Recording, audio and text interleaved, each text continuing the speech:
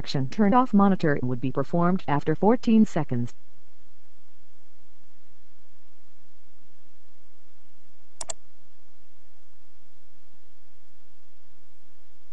Action turned off monitor would be performed after 14 seconds.